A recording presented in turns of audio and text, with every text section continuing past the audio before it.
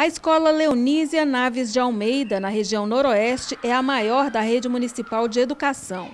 Para verificar a situação da unidade, a presidente da Comissão Especial da Câmara, que investiga o sistema de ensino, visitou o local. Sabrina Garcês buscou informações a respeito dos repasses de verbas do município, de como eles estão sendo usados, da prestação de contas e das necessidades da escola. Com mais de 1.300 alunos nos três turnos e sem espaço físico para todos, a saída encontrada foi a instalação de containers, onde foram alojadas cinco turmas. A preocupação é principalmente quanto à segurança dessas estruturas.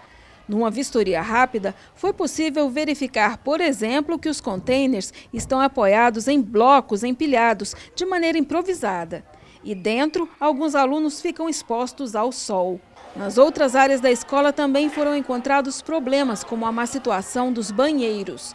Para a vereadora Sabrina Garcês, tudo que foi visto revela uma falha por parte da Secretaria Municipal de Educação. A gente verificou algumas salas de containers, muito quentes essas salas, é, com é, o ar-condicionado isso dá uma amenizada, mas mesmo assim não é um ambiente ideal para, o, para um aluno estar. Por que não fazer mais é, a construção de salas ao invés de pagar contratos para ficar alugando os containers? Essa é a nossa, esse é o nosso questionamento também. Esses contêineres estão sendo fiscalizados por CREA, por Corpo de Bombeiros? Nós iremos trazer um engenheiro que vai fazer o laudo. Perguntamos se já existia é, a liberação do Corpo de Bombeiros.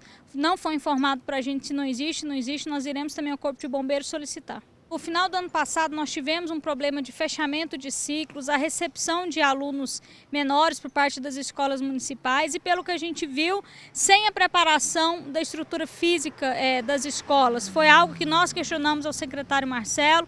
Ele disse que havia sim tempo hábil, mas o que vimos foi um puxadinho, é, vários problemas estruturais, como em todas as escolas que a gente tem visitado. As visitas da SEI continuam e provavelmente na semana que vem nós já teremos oitiva de alguns servidores, de algumas pessoas na área da educação.